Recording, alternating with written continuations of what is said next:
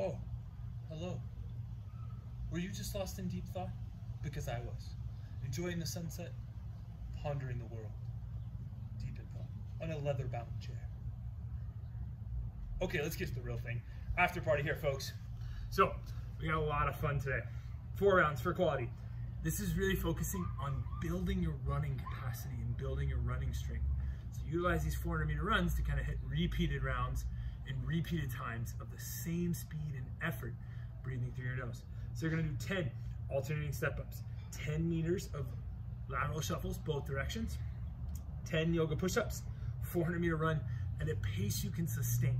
So it's not your max effort pace. It's kind of we wanna see all four rounds be the same pace, all right? Maybe try and push it a little bit there, but we wanna try and run those at the same pace. All right, so step-ups, real simple. We're focusing on driving up and standing.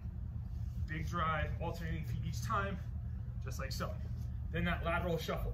It's literally moving sideways, shuffling.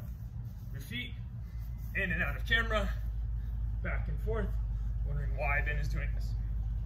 10 meters, find that distance. Yoga push-ups, very simple. Here, lower yourself down, press up, float back, really try and get those hamstrings stretching nice and smooth there. Hit 10 of those. Then get out on your run. Big goal on the run, work your arms, work your legs, use that pose method Mike's talked about, use that method to keep you moving and grooving. Have a little fun, take care with it, try and build your capacity through running. It should not be a dead sprint, and you should not be crushed after this one. It should be, I can repeat that four times. All right, gang? Have fun, enjoy the after party today, and we'll see you soon.